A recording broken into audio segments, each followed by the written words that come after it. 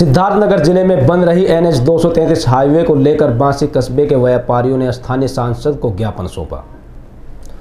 और व्यापारियों का कहना है कि हाईवे के ओवरब्रिज बनाने की बात कही जा रही है, जिससे हम व्यापारियों का बहुत नुकसान होगा। बिल्कुल पहल होगा। बासी का एक घर भी अगर टूटा है तो उसका मुआवजा मिलेगा। बिना मुआवजे के किसी का नुकसान नहीं होने देंगे।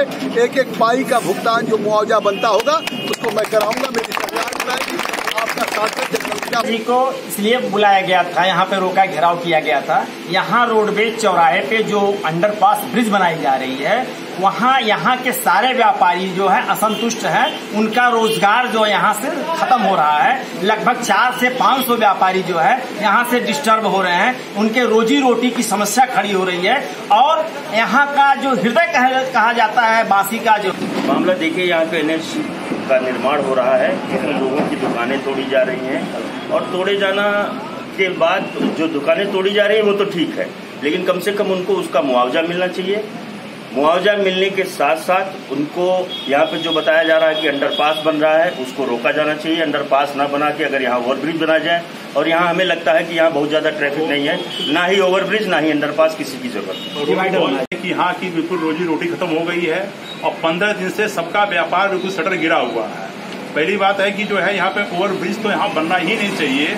आप अगर यहाँ पे नज़र दौड़ाए कैमरे से तो 110 फीट की रोड ये ले रहे हैं क्योंकि ये फोर लेन मेरठ के टीपी नगर थाना क्षेत्र में बागपत रोड पर शनिवार को सुभारती विश्वविद्यालय के कार्यालय के अध्यक्ष संजय गौतम की पीट पीट कर हत्या करने वालों में से पुलिस ने पाँच आरोपियों को दबोच लिया है।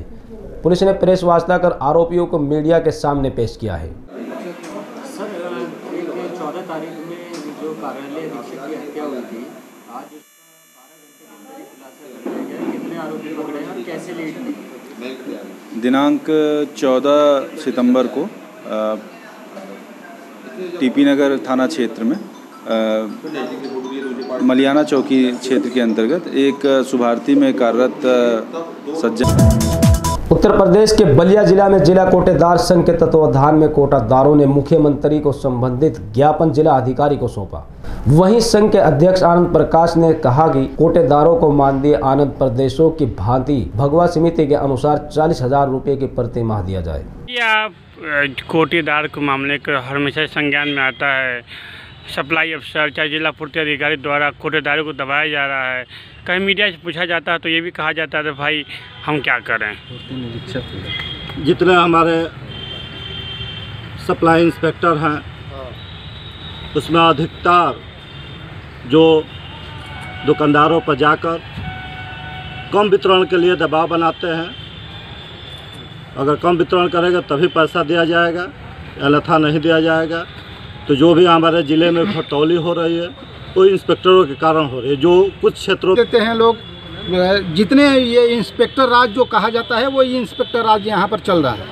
पूरे जी। जनपद में। तो जो जिस क्षेत्र में कोटेदार जैसे राशन कम वितरण कर रहे हैं इसका किसको दोषिया मानते हैं? सर इसमें साधारण सी बात है कि अभी तक इलेक्ट्रॉनिक मशीन हर ब्लॉक पर पहुँचना चाहिए, जो कि तौल करके सही मात्रा में बोरे के वज़न काट करके और दिया जाए।